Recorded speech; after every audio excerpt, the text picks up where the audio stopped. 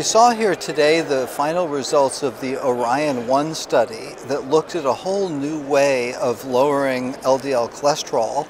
It was a PCSK9 based approach, but one using interference RNA.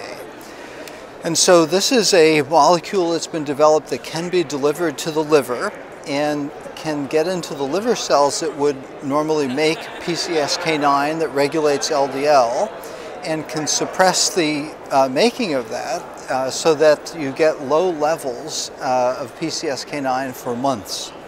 And so this was a study of a little over 500 patients where they did dose ranging, looked at one dose uh, or two doses three months apart, and then looked at how long you could lower the LDL. And the answer was for six months, you could get about a 50% reduction in LDL cholesterol just with one injection.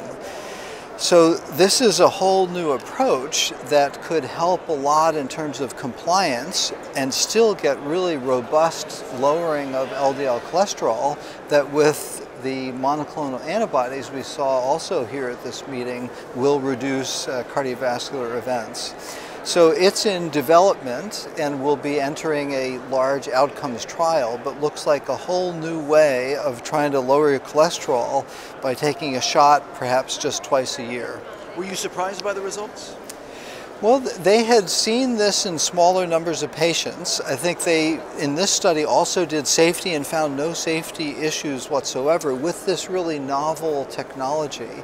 So it, it's sort of engineering of, uh, you know, the cells and the way they work and, and uh, different than popping pills.